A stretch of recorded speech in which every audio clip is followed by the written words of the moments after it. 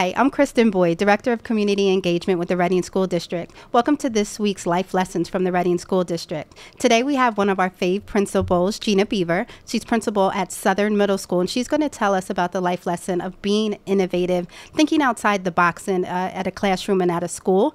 So I'm just going to introduce Geina and ask her to tell her, uh, tell you a little bit about herself. So I'll let you take it from there. Hi, my name is Geina Beaver. Um, I am a principal in the Reading School District, as Kristin said. I'm principal at Southern Middle School. This is my fifth year as principal at Southern Middle School, and before that, I was actually still there. I was the assistant principal there for four years prior to that. So we're rolling on almost a decade at Southern Middle School. Um, I actually have worked for the, for the Reading School District for the past 14 years, though. I was a teacher at Northwest Middle School uh, before that. So I have a lot of students who I've been able to see go through the Reading School District, and many who have graduated graduated already from college and have their own families, and many who are serving in our armed forces and also doing a lot of great things in the community. That's awesome. So we want to talk about this this program that you instituted this year. I know there's no formal name for it, but can you explain to people a little bit about what you decided to do this year at Southern? Right.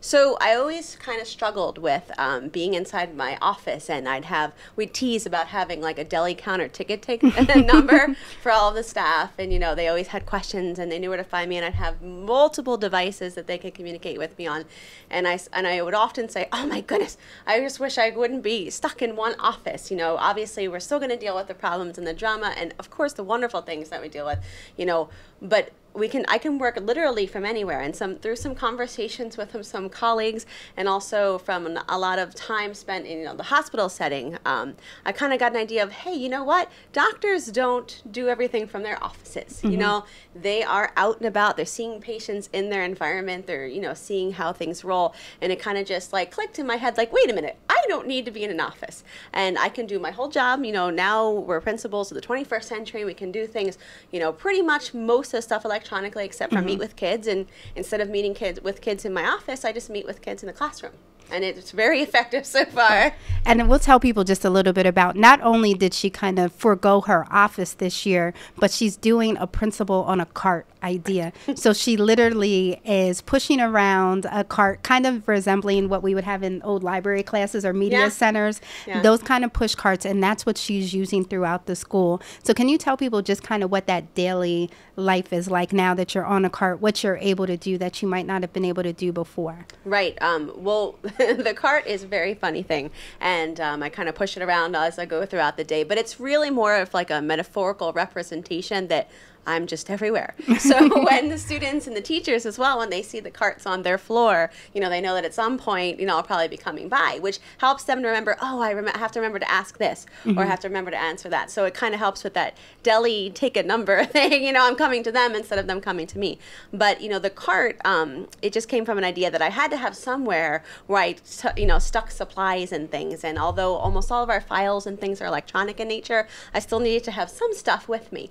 Um, so I just said, "Oh, I'm just going to get a cart," and, I put go. my name tag on a cart, and off I roll every morning. I come into the building, put the stuff in there, open up my laptop, um, you know, and just start wheeling around the building, you know. And there's really not, it's not a fancy cart. It's just a regular old cart that you know we would have given teachers if they didn't have a classroom assigned to them or something. But it just rolls around with me all day. Can I ask for for you being innovative? What gave you the gumption?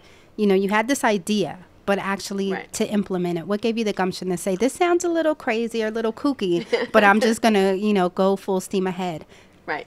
Well, first of all, my colleagues and, and my students, especially my students, would probably tell you that I am crazy usually to begin with and have some crazy ideas about things. But it really, you know, the innovation and the creativity really um, is drawn not from innovation and creativity itself, but from like being relentless with trying to get things done. Mm-hmm. And I just was seeing that I wasn't able to get into classrooms. And as a building instructional leader, you can't be a building instructional leader and know what's going on in the classroom if you're never in a classroom.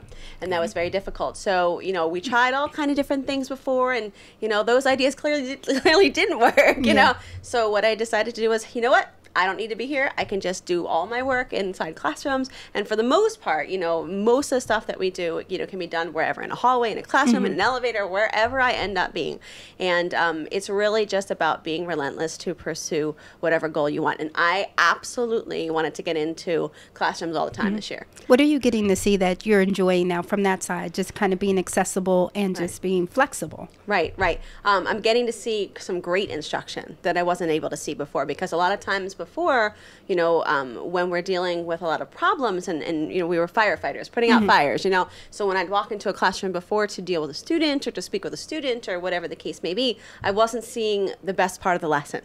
You know, I wasn't mm-hmm. seeing the students as they were doing their awesome work that they were doing. So now, as I just meander around mm-hmm. all day, I get to see what they're doing. And as I, you know, I'll sit in the back of the classroom and I'll open up my laptop and I'll do some of my work that I need to do um, as they're sitting around doing their work, so I can actually have some conversations. I can listen and you know hear what they're discussing and mm-hmm. find out the level of learning that they're having, so that we can go back and look and say, hey, you know what? Maybe there's something different that we need to do here. Um, and it's been interesting at the beginning of the year because the students who were there last year mm-hmm. are like, "Oh, miss, what's this?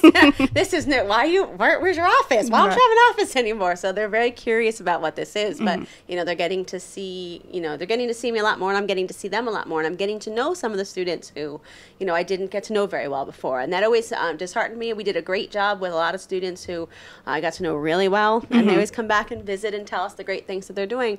But there were so many students who I didn't get to know very well and that always made me sad as well. So I had to come up with something that was going to get me to know, you know, those students who mm-hmm. I didn't really know very well before, and also, you know, to get me in there to help with how we're going to drive the curriculum because it's all new. It's PA core now, absolutely. So you know, it's it's very high expectations, and we really need to focus on quality stuff. I know you said the the kids were kind of, especially the ones last year, were you know, hey, what's going on? How has the staff reacted to having you so accessible? Right. I have an awesome and amazing staff. I really do. And I didn't think for one second that my staff wouldn't be very accepting of me being in the rooms. Mm-hmm. Um, so when I'm leaving the rooms, don't forget, come back anytime. come back, please. You know, or they'll call down to the main office and say, hey, if you see her, tell her to stop up by this room, you know. Mm-hmm. And, and so it's a really good thing. It's a very positive thing um, to be welcomed and invited into classrooms because, you know, certainly certainly that's the the goal. The goal isn't to you know um, be checking up on people per se. Right. It's really to be interacting and to find out what's going on. How can we best help the situation? Because you know it, that's what we need to be doing with both the students and the staff. So they were very very much on board with this. It was kind of interesting the first couple weeks. They oh, ca- sure. were kind of saying, "How do we get her? How do we get her? Oh. well, how do we do it?" So they learned very quickly that one, I'll be around, mm-hmm. so you can ask me when you get there. Two, I always have my laptop, so I have my, my email, and uh, they they will not, you know, if it's an emergency or something, we actually created a special bell in the school. Oh, so that very the bell nice. chimes, and I know it's kind of like ET phone home, except it's, it's Gene Beaver phone home. So I call the main office, and then they'll patch whatever through to me that I need, and then I always have my cell phone on me as well in case you know there's an emergency. Mm-hmm. Anybody can get me at any time. In in terms of, I know when we read the Reading Eagle story, they right. did a nice story on you, and you mentioned being able to. Um, there was a student who hugged you. How yeah. does that make you feel that they, they feel that connection now right. with their principal? Right. That was definitely different for me because mm. um, when I was a teacher, you know, certainly, you know, that was that was an all the time thing, you mm-hmm. know. Um, and then as I became an assistant principal, um, you know, nine years ago, assistant principals usually deal with a lot of the discipline nature. Mm-hmm. Um, so you don't get to know the students who don't get in trouble. You get right. to know the students who get in trouble. And at the end of the year, you'd get your hugs and your high fives, like, "Look, I made it! I did it! Only thirty detentions later, right. you know, did I do this?" But you know, you'd get that because you're building relationships, and really, right. it's all about building relationships. But it's it's really neat now for me to see, um, you know, d- kids who I probably would not have gotten to know very well, mm-hmm. and I'm now able to interact with them on a much more regular basis. So that's it's special. How do you feel like you might be influencing them again with that life lesson of being innovative, thinking outside the box, trying something different? How do you right. feel like this program and them seeing it in action right. might influence them, especially at a middle school age where their brains are kicking in the high gear? They are. They are. Um, well, one thing that we I always do with kids, regardless of whether they're in trouble or not, is ask them, "What is your goal? What's your mm. goal in life?" You know, and some of them, mm, I don't know, you know, and I say, "Well, no, that's not acceptable. You have to have a goal." And um, you know, we talk sometimes times, and, and I say, listen, you know, you have to think. You have to think. What are you going to do? I say, mm-hmm. and I'll tell them like last year at this time, I wouldn't think I was, you know, walking around the school The cart. pushing a car, you know. And they they always ask me, why do you have a cart? So we talk about that and we answer that. But it's really trying to get them to realize that you know what, I'm doing this because I need to see what you're doing. I need to mm-hmm. be there with you. I need to see this. That's my goal for this year. So we mm-hmm. kind of change it into what's your goal and how are you going to get across, you know, this school year? How are you going to get through the rest of middle school and high school? And what's your career goals?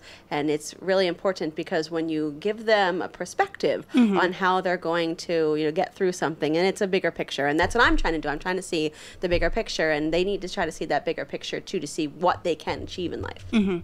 For you, how many classrooms do you get to a day now? I know it's probably different every day It- depending, Yeah, it depends on a day and, and uh, you know how many meetings are scheduled and such like that. But I know that I was in at least 20 today. really. Yeah. do you have any light bulb moments when when you're in a classroom, whether it's literally listening to say a history lesson and going, "Oh, I didn't know that," or Yeah. maybe what a kid is responding to? Yeah, actually, today we had a situation. I was in one of our math classroom uh, classrooms. We are in a pre-algebra class, and they were having conversations. Um, they were, you know, they were doing some word problems, and it, it related to college courses. Um, and they were asking the teacher about college courses, and so I was able to answer some questions in there.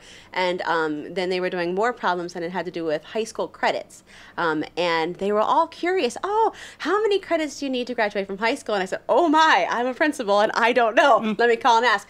And uh, so I just from the phone in there, just called up, you know, to the principal's office at Wow. Reading High and, and found out. And they were like, and, and I said, hey, we all have to use our resources. And although we're not encouraging and promoting them to get out their phones Right. and look at that, it's just letting them know that, you know what, I don't know isn't where you stop anymore. You know what I That's a mean? good point. it doesn't matter. We have to encourage the teachers that as well. Mm, I don't know, but let me find out Mm-hmm. is a much better response. So that's what we were working on today, and that was that was a great moment today. to see that in action. I love it. And again, we're we're so happy to have you on board and to bring this innovative idea. And we they actually started calling it the Beaver Mobile, which is again for a cart, but it, it kind of adds that level of relatability to, to kids that age. Um, but again, thank you for being innovative. Thank you for bringing this to our district, and we're hoping that more schools might again start to think outside that box. And you can already see the the impact that it's having on the students and obviously the staff too. That you're being acceptable. I'm sorry, accessible. so we we appreciate that. Um, so again, this is Kristin Boyd, Director of Community Engagement with the Reading School District. Life Lessons with Geina Beaver, who is talking about how to be innovative. Thanks and have a great day.